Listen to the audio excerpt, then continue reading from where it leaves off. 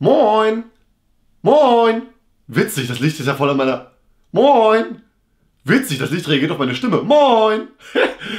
Ihr habt noch bis kommenden Donnerstag 20 Uhr Zeit, mir eine Aufnahme für die 200. Folge lustige Witze zu schicken. Filmt euch selbst mit eurem Handy, erzählt einen Witz und schickt diesen per WeTransfer an business at masterjam.de. Viel Spaß mit Folge 199 von Lustige Witze. Lustige Witze in 3, 2, 1, los. Natürlich kann einem von zu viel Bier übel werden. Aber hey, nach 6 Liter Kakao kotzt auch jeder.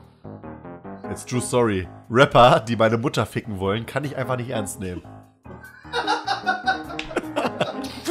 Im Büro haben wir heute diskutiert, ob Office 365 auch in einem Schaltjahr funktioniert. Frank hat heute 5 Millionen Euro geerbt. Jetzt ist Frank reich. Ich habe neulich drei Tage lang nicht mit meiner Frau gesprochen. Ich wollte sie nicht unterbrechen. Das ist ja die Höhe! Peter, Architekt, verwechselt die Maße. Endlich habe ich alle Weihnachtsgeschenke zusammen. Ich sollte häufiger die Pakete der Nachbarin annehmen. Ich beziehe meinen Strom nur noch von glücklichen Kraftwerken. Ich habe mich für das Jurastudium gar nicht erst beworben. Ich habe mich eingeklagt. Der Bass muss sein wie deine Mutter.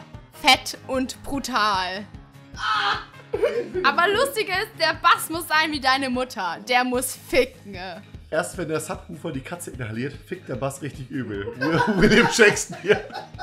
Alle machen immer Witze über uns Sachsen. Das ist sexistisch. Kann jemand den Akzent besser? Ich kann das nicht. Geburtstagskinder im September oder wie ich sie nenne, Silvesterknaller. Die schönste Erinnerung an meine Kindheit ist, dass ich keine Rechnungen bezahlen musste.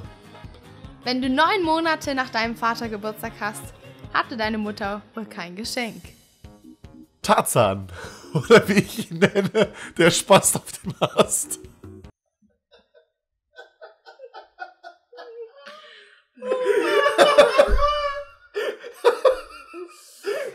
Ja.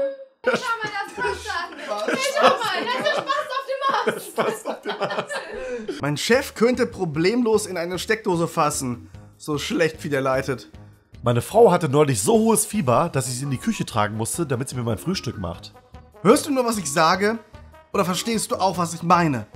Ich wollte einen Diät-Burgerladen eröffnen, aber der Slogan, keine Buletten für die Fetten, kam nicht so gut an. Wenn du mir ein Schokocroissant ohne Schokolade zum Frühstück mitbringst, dann esse ich es zwar, aber es macht mich sehr, sehr wütend! Abonnier, like und abonnier, YouTuber!